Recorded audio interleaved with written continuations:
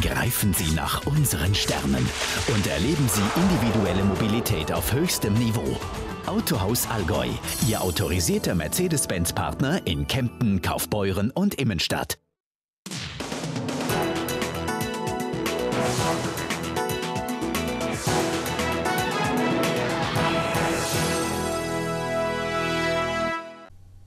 Ich begrüße Sie zu TV Allgäu Nachrichten am Dienstag. Heute haben wir unter anderem diese Themen für Sie. Palliativmedizin in Kempten.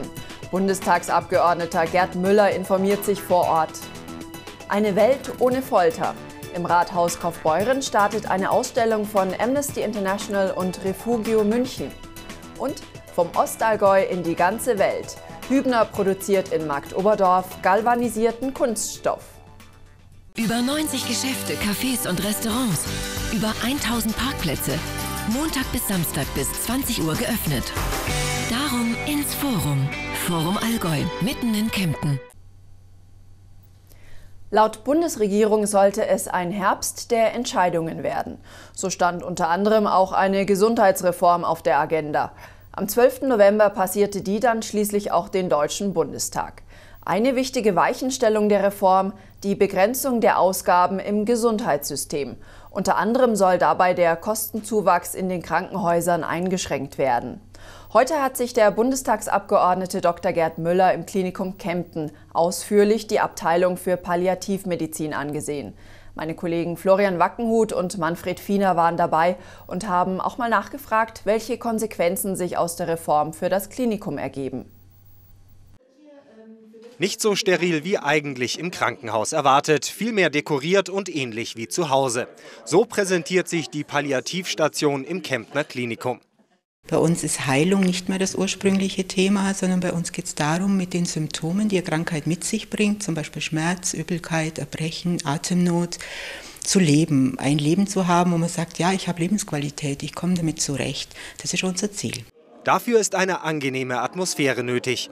Insgesamt sechs Betten stehen in Kempten zur Verfügung, doch damit ist die Kapazität erschöpft.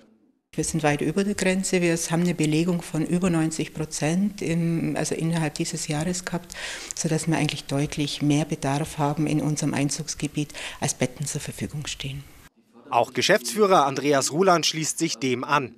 In Zukunft soll die Kapazität auf acht Betten erhöht werden, so das Ziel der Bedarf ist da, die Nachfrage ist da und ähm, wir müssen natürlich auch langfristig Strukturen schaffen, äh, in denen es unser Personal schaffen kann, auch diesen Mehrbedarf abzudecken. Und da arbeiten wir dran und ich bin auch zuversichtlich, dass wir da perspektivisch eine Lösung finden. Das dürfte allerdings nicht ganz einfach werden, denn ab dem kommenden Jahr wird durch die Gesundheitsreform auch bei den Kliniken gespart. Die Unterstützung für die Krankenhäuser, ähm, letztendlich die im Dezember 2008 beschlossen wurde mit dem 3,5 Milliarden Paket. Da werden leider viele Dinge jetzt wieder zurückgedreht. Das heißt, ähm, die Veränderungsraten, die wir bekommen, um damit Sachkostensteigerungen, Personalkostensteigerungen, Tarifsteigerungen, die den Mitarbeitern ja auch zustehen, finanzieren zu können, werden nochmal deutlich nach unten abgesenkt. Und das bedeutet auf jeden Fall, dass auch wir im Klinikum Kempten letztendlich uns mit diesem Thema auseinandersetzen müssen und äh, damit beschäftigen müssen. Letztendlich sollen die Krankenhäuser in Deutschland einen Beitrag von 500 Millionen Euro im Jahr 2011 und 2012 bringen. Und deshalb wird uns das sicherlich auch treffen. Gerd Müller sieht das naturgemäß anders. Und mit der Gesundheitsreform, das kann man auch mal anders sehen, es kommen im nächsten Jahr 11 Milliarden mehr in das System. Die Reform hat sich nur damit beschäftigt, wo kommt das Geld her. Aber insgesamt wird ja nicht zurückgefahren, sondern ausgeweitet. 11 Milliarden in Deutschland mehr, nicht weniger. Und im Allgäu sind wir top. Top sei vor allem die Palliativstation im Kemptner Klinikum und deren engagierte Mitarbeiter. Deutlich sprach sich der CSU-Politiker darum für den Erhalt und den Ausbau der Station aus. An der Palliativmedizin wird nicht gespart. Auch im neuen einhäusigen Krankenhaus in Kempten wird es diese Station geben. Im Übrigen ein großartiger Einsatz auch des Personals hier, den ich äh, hervorheben möchte. So scheint die Zukunft der Palliativstation gesichert. Freuen dürfte das vor allem die Patientinnen und Patienten sowie das Klinikpersonal. Zwei Damen haben sich gestern Abend in Bad Wörishofen in die Haare gekriegt. Eine 22-Jährige war mit ihrem Pkw in der Oststraße unterwegs, für eine 76-Jährige offensichtlich zu schnell, denn die bedeutete der jungen Frau, langsamer zu fahren. Daraufhin hielt die 22-Jährige aus Bad Wörishofen an. Es kam zu einer verbalen Auseinandersetzung. Die ältere Dame schlug dann aber mit einer Taschenlampe auf die Autofahrerin ein, die erlitt dabei leichte Verletzungen. Außerdem schlug die 76-Jährige der jungen Frau das Handy aus der Hand, das dadurch beschädigt wurde. Die Ermittlungen der Polizei laufen, zumal der Schaden mit 600 Euro beziffert wird. Weitere Meldungen aus der Region gibt es gleich in unserem Nachrichtenüberblick.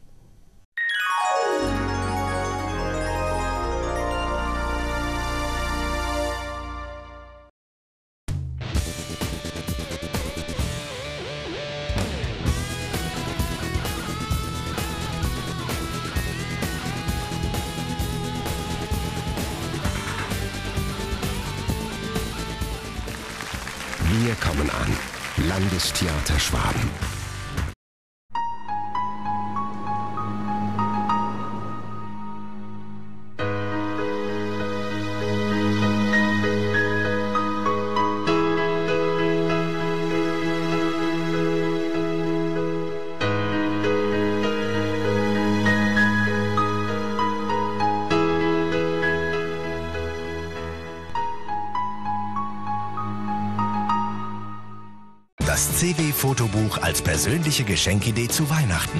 Mit Europas beliebtesten Fotobuch werden Ihre schönsten Erinnerungen lebendig. Der Sommerurlaub, das erste Lächeln oder Ihr persönliches Jahr 2010.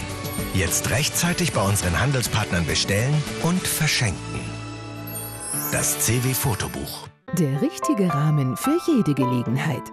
Festlich für Ihre Feier. Individuell für Ihre Meetings. Charmant für Ihren Wochenendurlaub. Herzlich willkommen im Hotel Hirsch, im Herzen Otto Beurens. Haben Sie einen Holz- oder Parkettboden, der so oder so aussieht? Wir bringen wieder Glanz in Ihre vier Wände. Rufen Sie uns an. Unsere Fachleute prüfen Ihren Boden kostenlos und unverbindlich. Fröhlich Parkett und Bodenbelege. Wir freuen uns auf Sie. Länger. Scharf. Schärfer. Burgers Original Feuerwurst. Natürlich vom Grill mit leckerem Tzatziki. Jetzt wieder auf dem Ulmer Weihnachtsmarkt. Die Feuerwurst. Das Original. Nur von Burger. Alles andere ist uns wurscht.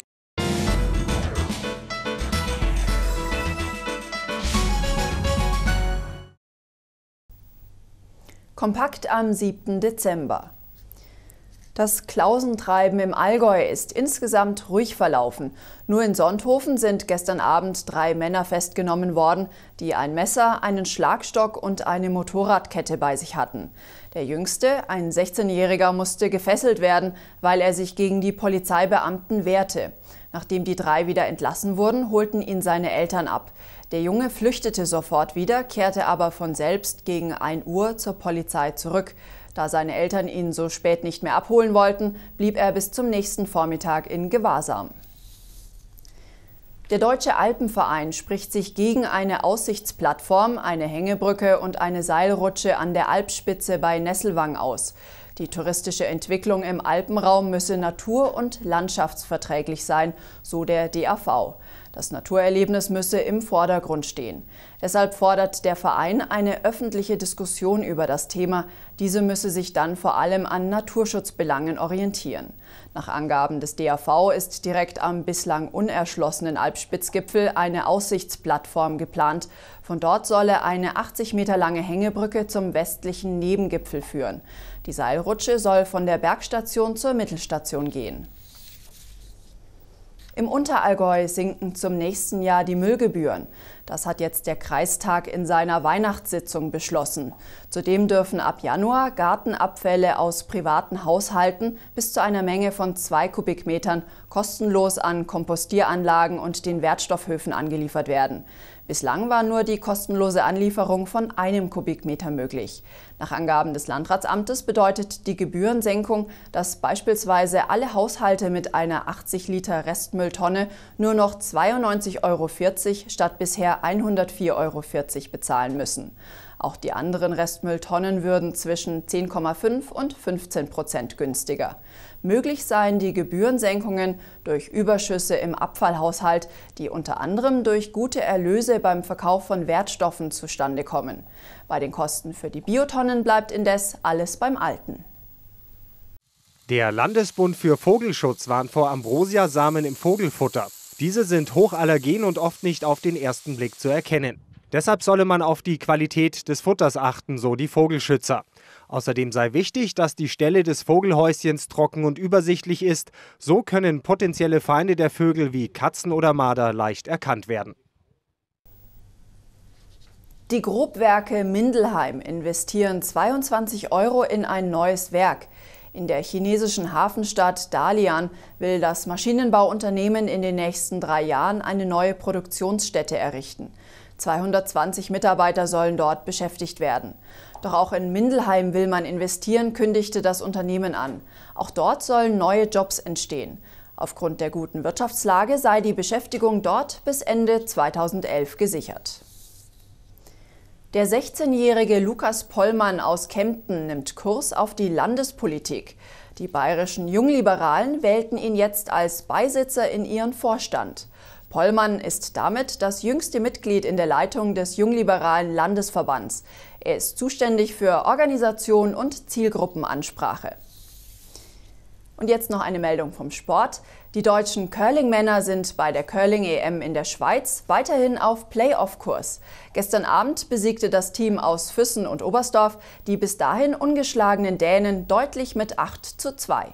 Heute ging es siegreich weiter für das Team Allgäu. Auch gegen Frankreich hieß es am Morgen 8 zu 2. Damit führt Deutschland zusammen mit Dänemark, der Schweiz und Norwegen die Tabelle an. Die besten vier Teams kommen ins Playoff-Halbfinale.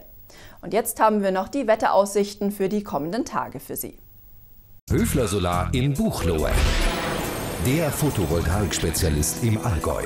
Informieren Sie sich www.höfler-solar.de die Nacht zum Mittwoch ist vielerorts bewölkt. Im gesamten Sendegebiet kann es zu Regen kommen. Die Werte liegen bei 3 Grad. Morgen Vormittag ist es zunächst noch freundlich, nur vereinzelt ziehen Wolken auf. Dabei herrschen rund 2 Grad. Am Nachmittag bleibt es bei Temperaturen bis zu 8 Grad sehr mild, bevor am Abend wieder Regen und ein starker Wind aufziehen. Am Donnerstag kommt es zu einem Temperatursturz und es wird mit Werten um den Gefrierpunkt wieder kälter. Im gesamten Allgäu fällt Schnee. Der Beginn des Wochenendes wird wechselhaft. Am Samstag mischt sich im Unterallgäu noch Schnee unter den Regen. Die Temperaturen steigen wieder auf etwa 3 Grad. Im Rathaus Kaufbeuren wurde gestern Abend die Ausstellung Für eine Welt ohne Folter eröffnet. Die Ausstellungsstücke wurden bereits 1995 von Amnesty International Ulm in Zusammenarbeit mit dem Behandlungszentrum für Folteropfer in Ulm gestaltet. Die Veranstaltung wurde von der Amnesty International Gruppe Kaufbeuren in die Stadt geholt, um über Ursachen, Formen und Folgen der Folter zu informieren. Martina Herz und Manfred Fiener waren bei der Eröffnung dabei. Die Würde des Menschen ist unantastbar. So lautet der erste Satz des deutschen Grundgesetzes. In anderen Ländern gilt dieser Satz oftmals nicht. Das zeigte sich gestern Abend bei der Eröffnung der Ausstellung für eine Welt ohne Folter im Rathaus Kaufbeuren. Initiiert wurde die Veranstaltung von der Amnesty International Gruppe Kaufbeuren und Refugio München, einem Behandlungszentrum für Flüchtlinge und Folteropfer. Annika Malander, Vertreterin von Refugio München, erklärte den Anwesenden dann auch, was Folter bewirkt.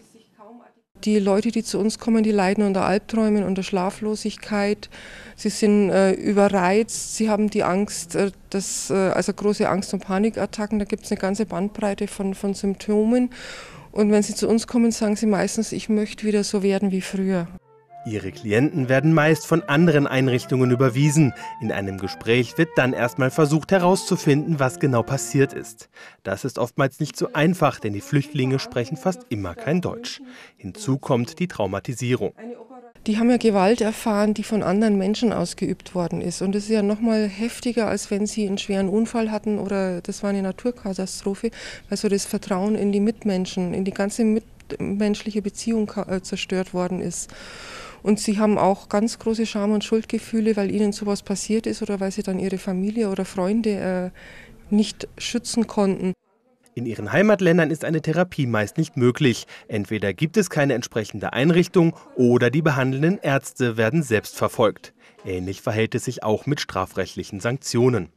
Strafrechtliche Verfolgung von Folter ist ein heißes Thema. Also äh, es gibt ja kaum äh, Geschichten. Also äh, Türkei hat ja inzwischen wohl zugesagt, dass sie das im Land dann verfolgen werden. Aber ansonsten kann man auf große Prozesse hinweisen in Den Haag. Also Ruanda war dort, dann ging es auch um Völkermord, Bosnien war dort. Sonst in den einzelnen Ländern, denke ich, wird da äh, viel einfach vernachlässigt. Auch äh, Afghanistan oder Irak gibt es keine Anklagen. Finanziert wird Refugio München zur Hälfte durch Stiftungen und Spenden. Die andere Hälfte kommt aus öffentlichen Geldern, so zum Beispiel von der Stadt München, dem Bezirk Oberbayern, der EU und der UNO. Dadurch ist es möglich, zusammen mit Amnesty International weiter daran zu arbeiten, Licht ins Dunkel zu bringen. Noch bis zum 17. Dezember kann die Ausstellung zu den Öffnungszeiten im Rathaus Kaufbeuren besucht werden. In der Regel öffnet das um 8 Uhr. Ja, und von der Ausstellung in Kaufbeuren jetzt zu einer in Lindau. Nur mit dem Unterschied, dass die noch nicht begonnen hat. Trotzdem wirft die Sonderausstellung mit Werken von Pablo Picasso ihre Schatten voraus. Zum 130. Geburtstag des spanischen Künstlers ist es der Stadt Lindau gelungen, mehr als drei Dutzend Zeichnungen an den Bodensee zu holen. Vom 1. April an sind die Originale im Stadtmuseum Lindau zu sehen.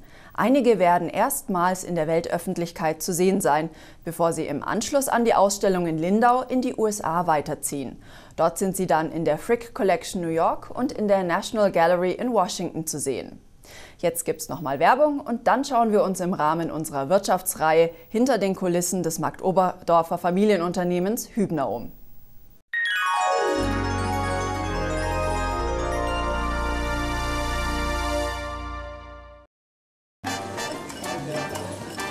Hallo, guten Abend.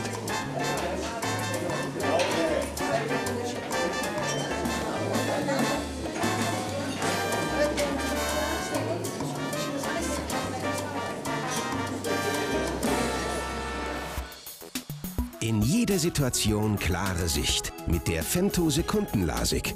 Informieren Sie sich jetzt über diese hochpräzise, vollständig lasergesteuerte Augenbehandlung. Denn Sehschärfe ist Lebensqualität. Billiger geht's so. Oh, oh. Ja, der Wunschzettel meiner Freundin. Mama. Fußmassage. Kuscheln. Was selbstgemachtes. Nee, überrascht die. Die bekommt was selbst gekauftes. Mediamarkt. Ich bin noch nicht blöd. Für mehr Komfort und für ein gutes Gefühl. Individuelle Sporteinlagen für Jogger, Radfahrer, Wanderer und viele mehr. Dazu die passenden Sportsocken. Durchblutungsfördernd oder muskelstabilisierend. Drescher und Long. Und ich fühle mich wohl. Von der Konzeption bis zur Erfüllung Ihrer Küchenträume. Wir machen Ihre Wünsche wahr. Unser kompetentes Team erarbeitet gemeinsam mit Ihnen Ihre Traumküche. So habe ich mir das vorgestellt.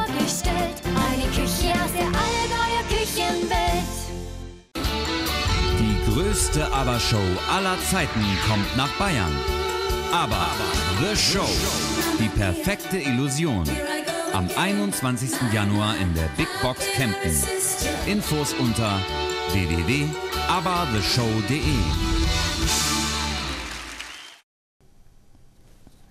Was haben Modeschmuck, der Lautstärkeregler am Autoradio und die Toilettenspültaste gemeinsam? In vielen Fällen galvanisierten Kunststoff. Heißt, es sieht aus wie Metall, ist aber aus Kunststoff. Der erste Betrieb Deutschlands, der Kunststoff galvanisiert hat, war Hübner in Marktoberdorf. Ursprünglich konnte so der Bereich Modeschmuck ausgebaut werden. Mittlerweile macht der aber nur noch 5 Prozent des Geschäfts aus. 95 Prozent stellt der technische Bereich dar. Wir haben das Familienunternehmen in Marktoberdorf besucht. Der Wirtschaftsbericht. Präsentiert von Glas Trösch. Glas Trösch in Kempten im Allmai. Räume für Träume. Schmuck wie dieser wird seit über 85 Jahren bei Hübner hergestellt. Im September wurde der neue Laden eingeweiht, der den klassischen Werksverkauf ablöst. Neben selbstgenähten Taschen und Geschenkartikeln wird hier vor allem Schmuck angeboten. Für das Design ist Karin Hübner-Klinger zuständig. Die gelernte Goldschmiedin hat im Familienbetrieb schon früh den Bereich Modeschmuck übernommen. Doch die Konkurrenz schläft nicht, vor allem nicht die aus Fernost. Das merkt man sehr. Also wir müssen schon sehr kämpfen, dass wir mithalten können. Wir müssen immer was Besonderes machen, uns immer wieder was Neues einfallen lassen und auch teilweise wirklich knapp kalkulieren, dass wir große Mengen verkaufen. Das Werkzeug für die Modeschmuckperlen wird in der hauseigenen Werkstatt hergestellt. Nebenan in der Spritzgießerei werden die Rohperlen aus Kunststoff gegossen. Momentan sind es Halstuchringe. Je nach Modetrend werden die Kunststoffteile noch bearbeitet, zum Beispiel eingefärbt. Die Perlen, die farbig werden sollen, kommen alle gemeinsam in einen Korb. Je länger der in der Farbe bleibt, desto intensiver wird das Ergebnis. Für Türkis reicht ein kurzes Bad, dann geht es schon zum Spülen. Je nach Oberfläche hat die Perle die Farbe unterschiedlich aufgenommen.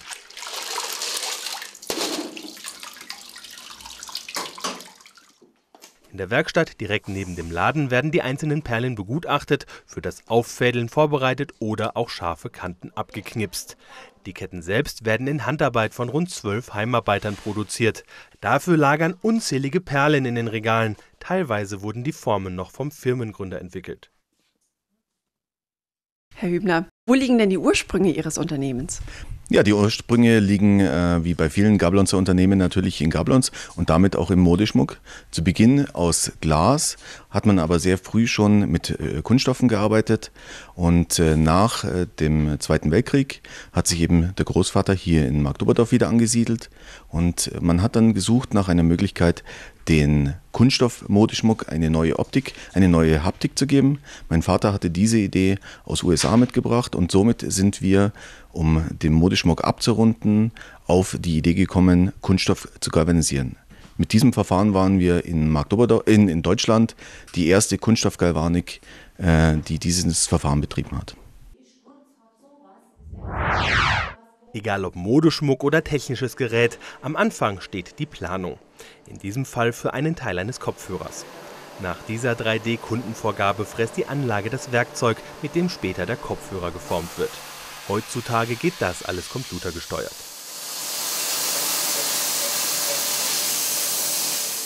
Diese Spritzgussanlage für die technischen Formteile arbeitet seit 15 Jahren im Dreischichtbetrieb. Aufgrund der Auftragslage wird seit einigen Monaten auch samstags produziert. Mit einer Schließkraft von 350 Tonnen wird hier gerade die Betätigungsplatte für eine Toilettenspülung geformt. Rund 70 Prozent der Aufträge bei Hübner kommen aus dem Bereich Sanitär, 25 Prozent aus der Automobilbranche. Inzwischen produzieren wir etwa 95 Prozent technische Teile, wie gesagt für die Sanitär- oder Automobilindustrie und etwa 5 Prozent macht der Modeschmuck noch aus. Das heißt ja, die Krise in der Automobilbranche ist überstanden. Welche Auswirkungen hatte sie aber auf Ihr Unternehmen? Nur bedingt. Natürlich haben wir das Jahr 2009 recht stark gemerkt, aber gerade die Automobilteile waren für uns Neuland und somit ist aus einem zwar äh, schrumpfenden Markt damals für uns ein Wachstumsmarkt entstanden und es hat sich sehr gut entwickelt für unsere Verhältnisse. Jede Art von Kunststoffrohling hat ihr eigenes Gestell, damit beim Galvanisieren nichts verrutscht. Anschließend beginnt die Reise. Die erste Station ist die Beize mit Schwefelsäure.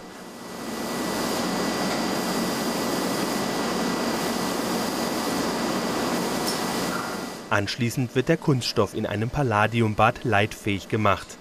Circa 80 einzelne Bäder durchläuft jedes Gestell. Die Dauer variiert je nach Flüssigkeit und Metall. Das hat auch immer wieder Auswirkungen auf die Farbe der Formteile.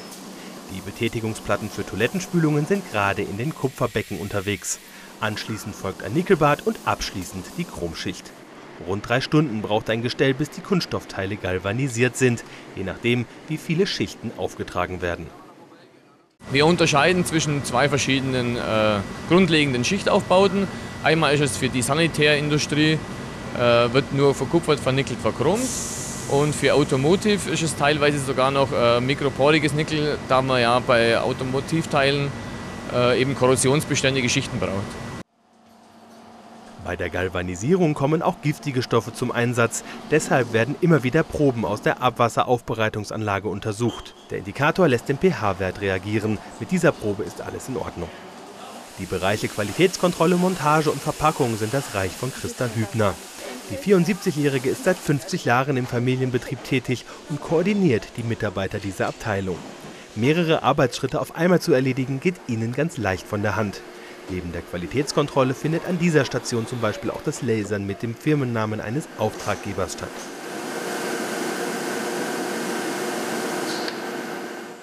...800 Quadratmeter stehen der Abteilung Montage und Verpackung zur Verfügung. Die neueste Anschaffung, ein Roboter, der fertige Verpackungen vollautomatisch bündelt. Das Bestücken der Kartons erfolgt manuell, momentan mit Betätigungsplatten für Toilettenspülungen.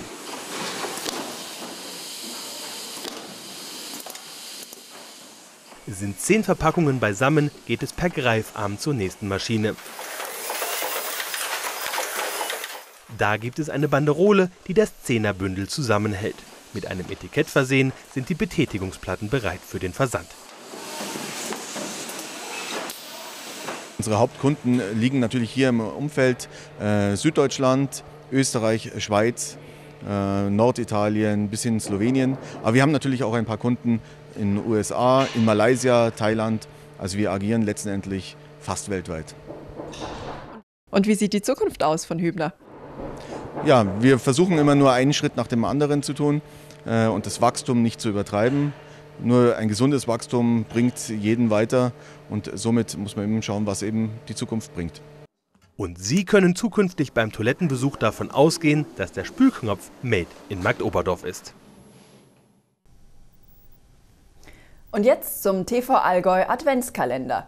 Gestern gab es ja einen Gutschein von Juwelier Bosse in Füssen zu gewinnen. Den Gutschein im Wert von 50 Euro hat Gabi Kubitschek aus Durach gewonnen.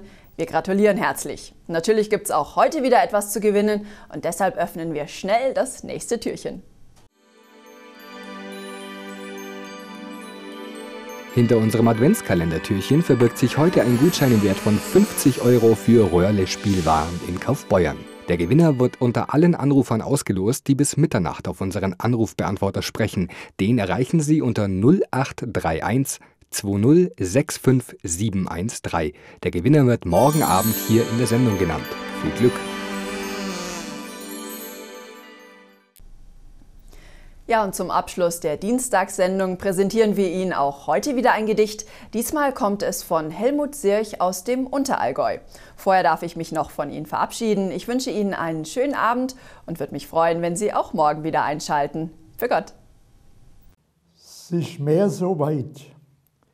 Ist mehr die Jahreszeit, wo es kann ein großer Sturm an Regen oder auch ein Neuschnee geben wo die Leute noch durcheinander springen und sich beinahe noch trennen, weil sie kaum verkommen können.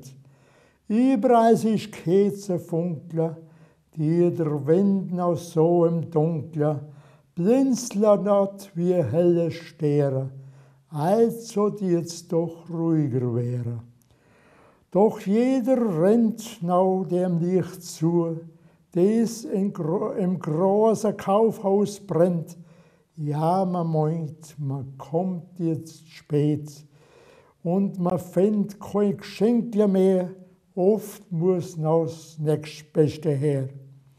Han mir gar viel vergessen, wenn man einkauft so vermessen und am zweiten Feiertag muss man es naus in Tonne dran weil man ganz gezwungen hat und das Fett noch wieder staut, man sollte ein wenig kleiner denken und dem Kind einen Blick noch schenken, das so armselig da leid, davon geht's auf viel noch heut. Die kennt man an aller Nähere, tät ne des, was zu viel ist, kehre. Drum wär's gut, wenn man beim Schenken einfach ganz normal det denken, now hätt man a Weihnachtszeit, die um echt der Friede geht. Rund um die Uhr Strom. Zukunftsstrom. Feierstrom. Das alles ist Allgäu-Strom. Allgäu Strom. Die heimatstarke Energie.